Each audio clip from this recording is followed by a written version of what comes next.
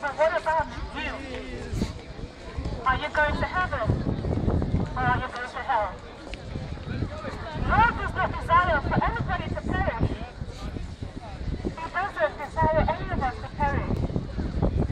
The Lord has loved you so much, and he still loves you, regardless of whether you're good or bad.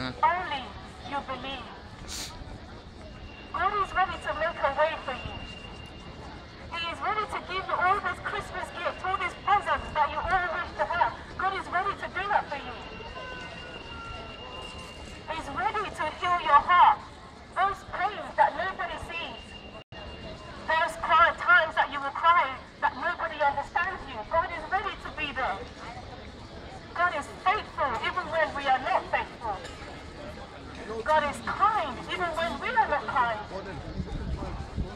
But if only you believe, if only you believe, then you will be saved.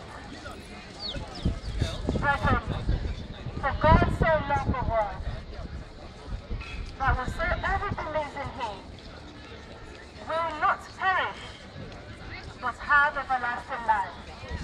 God loves you.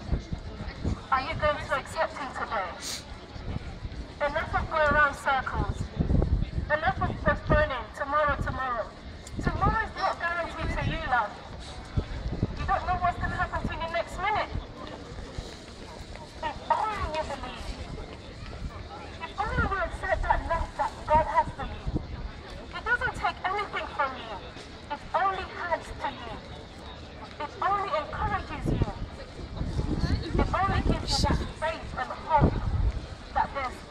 había